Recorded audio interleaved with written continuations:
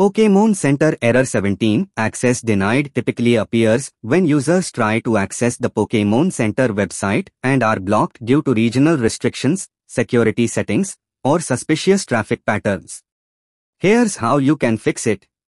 How to fix Pokemon Center Error 17 Access denied. 8. Check your location, region lock. Pokemon Center only serves US residents and a few select regions. If you are outside the US, you'll likely get error 17. Fix Use a trusted VPN with a US server. Refresh the site after connecting. Do. Clear browser cache and cookies. Sometimes corrupted cookies or security tokens cause access issues. How to? On Chrome, Settings Privacy Security Clear Browsing Data. Clear cookies, cached files, and site data. Then refresh PokemonCenter.com. 3. Disable VPN or proxy if already active. If you are already using a VPN or proxy and still seeing error 17, disable it temporarily. Reload the site. Pokemon Center may block certain VPN IPs it considers suspicious. Char. Switch to a different browser or device. Try opening the site in incognito private mode.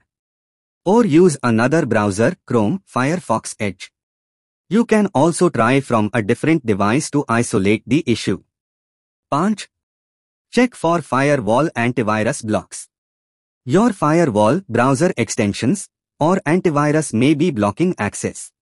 Temporarily disable extensions like ad blockers, VPN plugins, or script blockers. Try reaccessing the site.